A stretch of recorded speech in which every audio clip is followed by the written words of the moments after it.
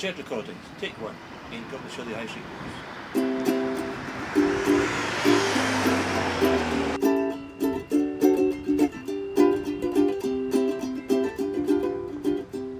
I quite like everyday things. That's a big inspiration for me. So my local high street, Shirley High Street.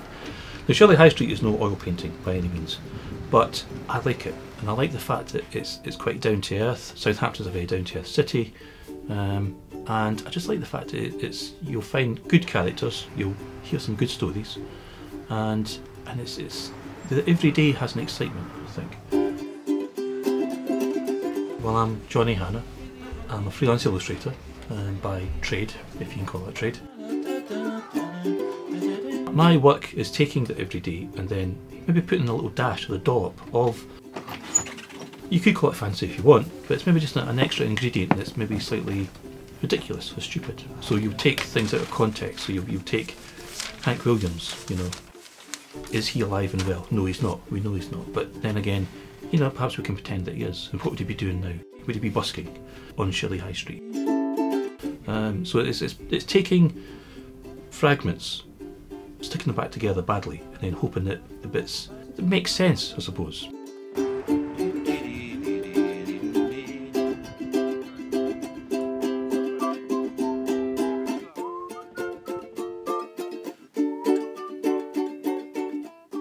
Favourite tool is a, a big pot of ink and a, brush.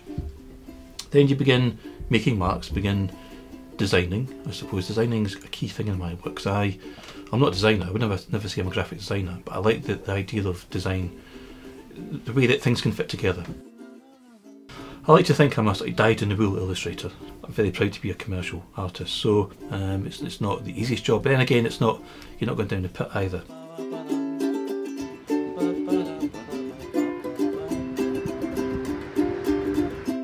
So if I'm painting, it's straightforward. If it's on a bit of wood or on a bit of paper, um, get the paints out. I think the, the more direct you can be, the better. I've never been one for spending too long thinking. I think thinking can sometimes be a bad thing.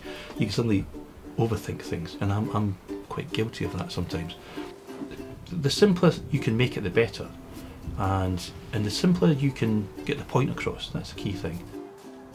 And and for me, it's you know it's cheap brushes, cheap paint, and cheap plywood. It's not.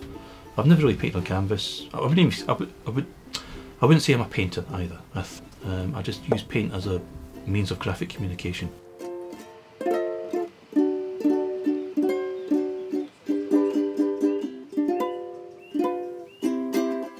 So I had my first exhibition with St Jude's. That was seven, eight years ago.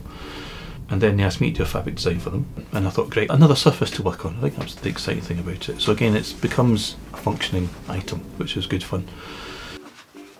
I think that they're kind of reinventing aspects of Great British design. I think that's good.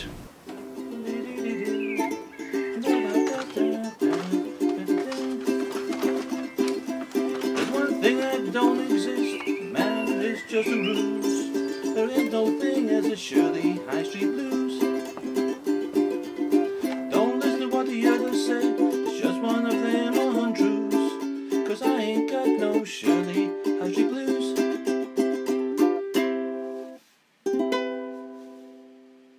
C major 7.